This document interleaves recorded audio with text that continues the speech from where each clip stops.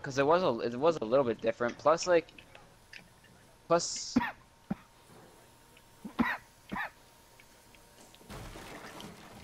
Plus the way that they that they make um array lists are different than like how like I learned to do it in Java now, but I think it's the same as it was in high school. There's a Twitch drone coming What? from This game is horrible. Colin, I'm actually really scared.